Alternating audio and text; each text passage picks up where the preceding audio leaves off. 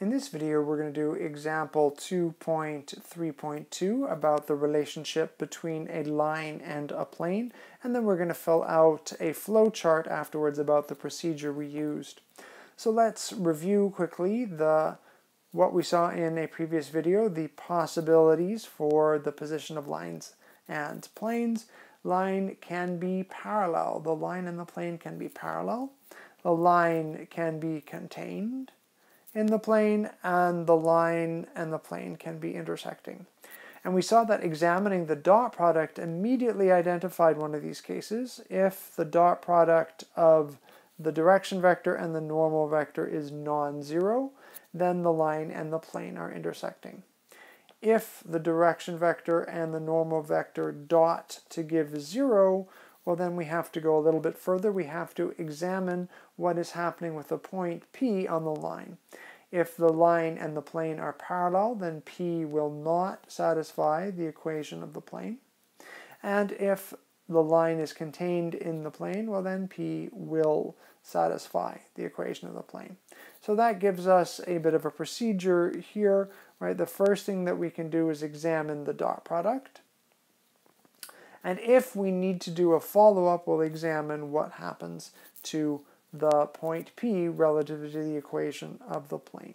So let's go and look at the example. We're given the line x is equal to 1 plus t, y is 3 plus t, and z is 2 plus 2t, which means that we can see a point on the line 1, 3, 2, and we can examine, or we can identify a direction vector, the coefficients of t, 1, 1, 2 and we see the we're the plane pi that we're given x plus y minus z equals 2 so we can read the normal vector coefficients of the x y z 1 1 minus 1 so we're going to examine first of all the dot product of the normal vector and the direction vector. So d dot n.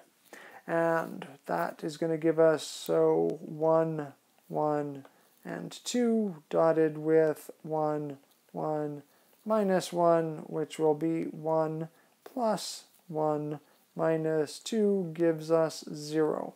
So that has told us that either the line is parallel to the plane or the line is contained in the plane.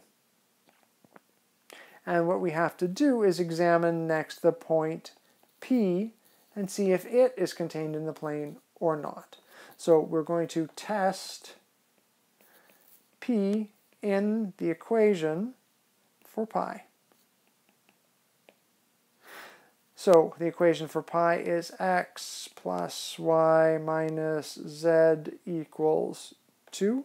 We're going to look at uh, point P, which is the point 1, 3, 2, and plug that in. So 1 plus 3 minus 2, 4 minus 2 gives us 2. So indeed, the point P is in the plane. That means all the points are in the plane, which means that our line is contained, our line L is contained in our plane pi.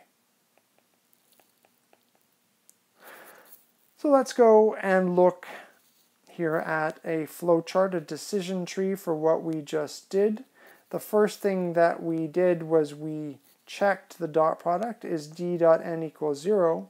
We answered yes, which means that the line is parallel to or the line is contained in